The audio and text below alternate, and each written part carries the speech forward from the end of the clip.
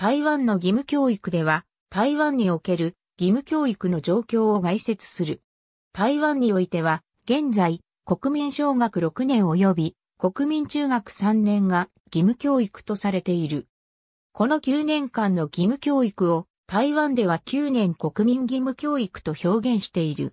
台湾の義務教育の歴史は日本統治時代の1943年に遡る。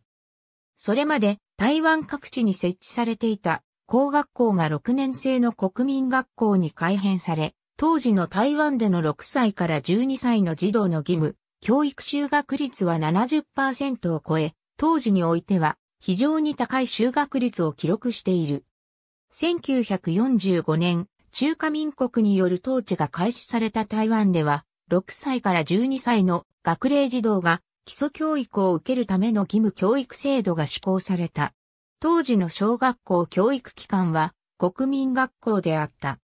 国民学校以降の中等教育は義務教育ではなく、当時の中学校である初級中学に進学するためには、初中連校という選抜を通過する必要があった。1968年、政府は義務教育を9年に延長した。この時初級中学は国民中学に解消され、増加する修学生徒に対応すべく多くの国中が新設された。また、国民学校は国民小学に解消され現在に至っている。現在台湾で施行されている国民教育法第2条では、およそ6歳から15歳の国民は国民教育を受けなければならない。すでに学齢を超えて国民教育を受けていない国民は国民補修教育を受けなければならない。6歳から15歳の国民の強制入学は別に法律をもってこれを定めると規定されている。しかし学齢を超えて国民教育を受けていない国民に対する補修教育に関しては成分法により修学の義務が定められていない。